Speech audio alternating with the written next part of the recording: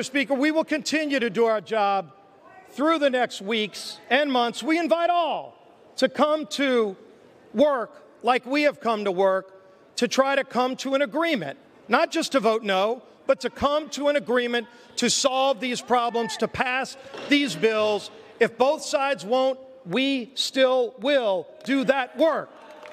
And I would yield one more time to the gentlelady. Be in order. Mr. Speaker, the House is not in order.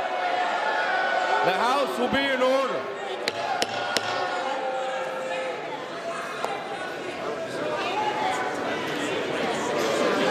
The House will be in order. Are those even words strikeable?